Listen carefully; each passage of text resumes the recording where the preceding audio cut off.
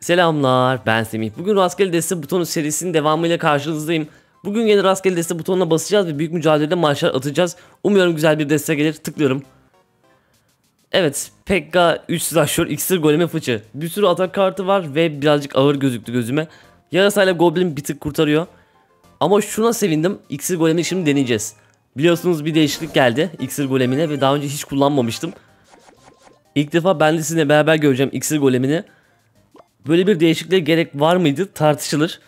Bence güçsüzleştirme gibi bir şey olmuş çünkü savunurken iksir veriyor rakibe. Canı her ne kadar artsa da. Bilemiyorum şimdi deneyeceğiz göreceğiz. Korumaları böldüm destem çok ağır ve atak kartı dolu olduğu için. Çok da bir esnek destem yok. Arkadan Pekka atalım. Rakibin kraliçesine yapılabilecek en iyi hamlelerden bir tanesi Pekka'dır arkadan. Çünkü rakip özelliğine bastığında 6 iksir kullanmış oluyor. Ben de bir iksire Pekka atmış oluyorum. Buz golemi ve kraliçe. Şimdilik birinci destesi olduğunu düşünüyorum. Prensim hazır zaten. Evet özelliğini bastı. Gördüğünüz gibi şu an Pekka'mız yaşıyor.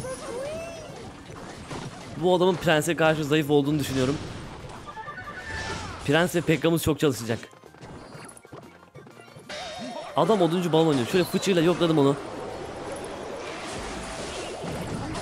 Vali var. Bu demek oluyor ki büyük bir yok. Yani bu da demek oluyor ki 3 slasher'ımız çalışacak.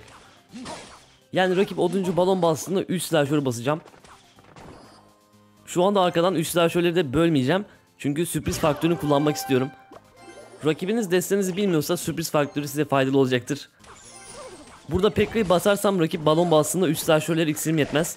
O yüzden ucuz bir cevap verdim. Acaba ne yapacak? 3 slasher'leri gördüğünde tepkisini merak ediyorum. Şimdi şöyle prensimizi basalım. Defans yapsın, atağa çıksın. Evet bu arada buz golemine küçük bir buff geldi. Patladığında daha uzun süre donduruyor. İşte bizim zamanımız geldi. Şimdi iksir golemini atacağım. İnanılmaz bir kardayız şu anda. Ya öyle böyle değil. Fıçıyı attım vali çıkarsın diye.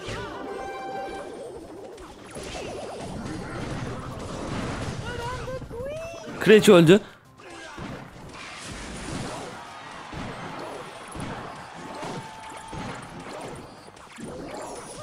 Bölünürken 0.5 iksir veriyor rakibe. Şöyle bir taktik yapalım. İksir golemini Pekka'nın arkasına saklayalım kuleye vursun yeter. Herhalde 700 vurur. Fıçıyı da atayım.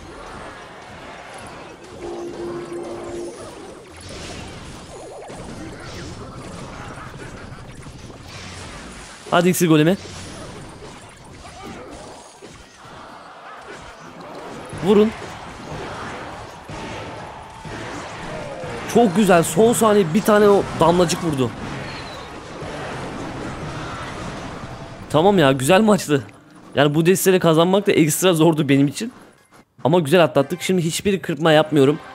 Doğrudan gideceğim ve orada rastgele deste butonuna basacağım. Yani çok saçma bir deste gelirse maalesef kazanamayabiliriz. Şöyle destede tek bir atak kartı olan, küçük büyüsü olan, büyük büyüsü olan, düzgün bir savunma kartı olan deste istiyorum. Garip bir deste neyse maç içini daha iyi görürüz.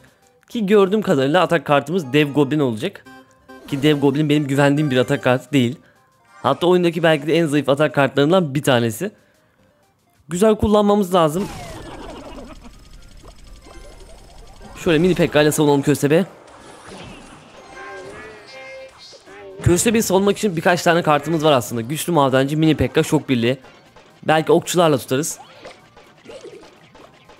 O felaket kule desteği oynuyorsa ben bittim. Yani dev goblin'in felaket kulesinde eriyecek resmen. Evet o deste. Şöyle güçlü madenciyi atayım.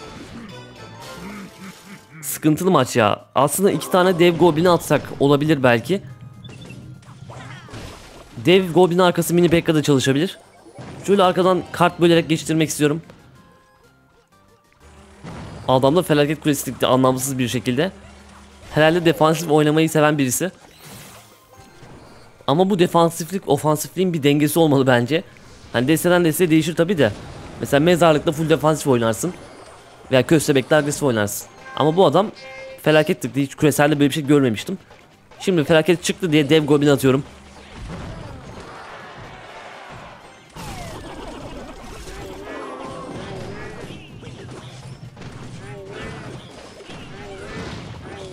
Maalesef adam iki tane binaya sahip. Köstebek hem atakta kullanılıyor hem defansta kullanılıyor. Çok esnek bir kart ya. Şimdi bunu savunduk. Güçlü madenci atar kalksın. Ben de arkadan bir şeyler bölmeye devam edeyim. Bölecek çok kartım var. Okçu, şok birliği, iskelet. Özellik tutturamadık. Şöyle okçu böleceğim. Çarpı 2 giriyoruz artık. Biraz daha oyun hareketlenecek. iki tane dev goblin yapmaya çalışacağım. Yani bunu tutturursak kazandık tutturamazsak sıkıntı. Gene felaketlikti. Ben bölmeye devam ediyorum kartlarımı. Top mu atsak ya da şok bili daha iyidir. Felaket diktiği için ben saldıramıyorum tamamen. Şöyle arkadan çıkalım devam edelim. Çaktırmadan da alev toplarıyla vuruyor. Sonsuza kadar böyle mi yapacağız? Yani ben yaparım.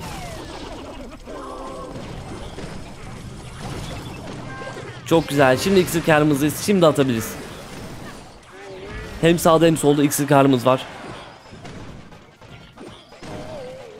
Dev Goblin arkası Dev Goblin.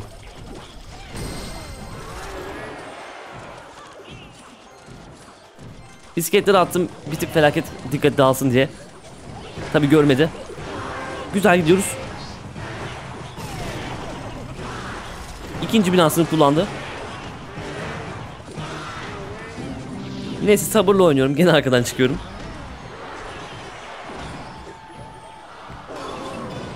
İkinci dev goblin geliyor. Hala gerideyiz vurmamız lazım.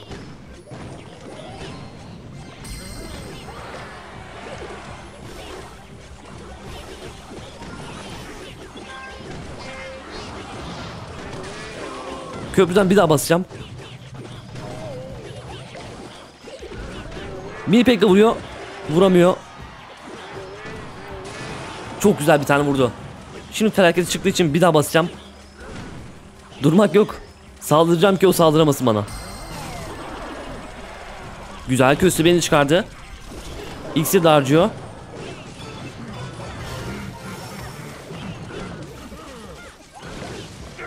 Bence çok tatlı bir maçtı yani. Kontrolü sağladığımız için bunu yapabildik. Maçta bir yerde kontrolü kaybetseydik bitmişti yani. Şimdi gene bir kırpma yapmıyorum. Doğrudan basacağım rastgele deste butonuna. Dev Goblin destemiz fena değildi bence. Bu arada oyunun birazcık geç yükleniyor. Rastgele deste butonunu seviyorum. İyi enerji gönderiyorum şu anda. Güzel bir deste çıksın diye. Evet isterseniz tıklayalım.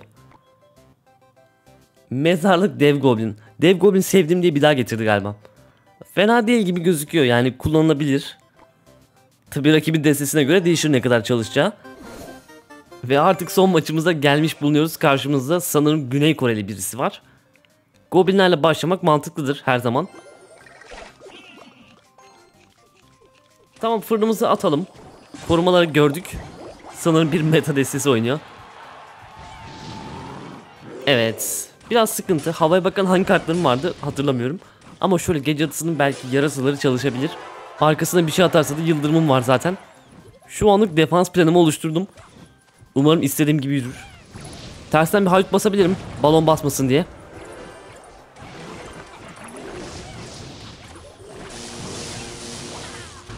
Güzel bir yıldırım. Şöyle goblinlerle çekelim tazı köpekçiklerini. Yakaladı beni.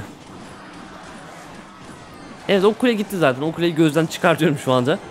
Nasıl çevirebileceğimize bakıyorum. Sol tarafa bayağı vurmuşuz. Sağ tarafa da aynı şekilde vurmamız lazım. Köprüden top arabası bassak korumaları var, mezar taşı var. Yere basan iki kartı da elinde. Şöyle fırınımızı kuralım, sabırlı olalım. Kule takası yapmayı becerebilirsek güzel olacak. Belki şöyle sağdan çıkabiliriz. Öne dev goblin atarım. Ama top arabası havadan kolayca durdurulabilir. O yüzden gece atısı daha mantıklı. Evet kule takası vaktimiz gelmiş taza attı adam. Lütfen kuleyi alsın.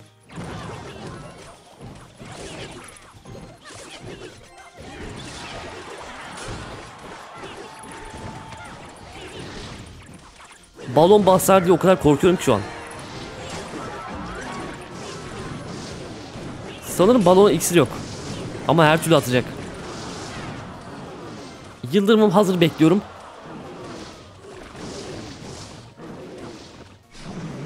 Şimdi atabiliriz. Köpecikler içinde bir fırın.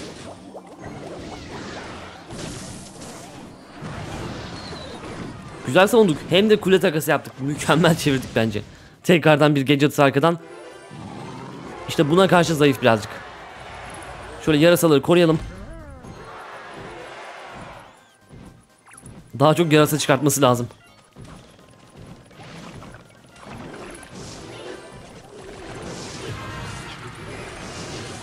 Güzel yıldırım.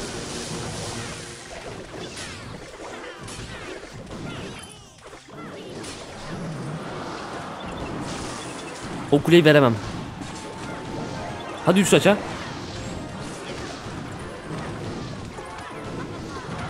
Çok güzel çevirdik ya. Maçın başında dedim gitti herhalde maç. Maçta da mezarla atacak yerim yoktu.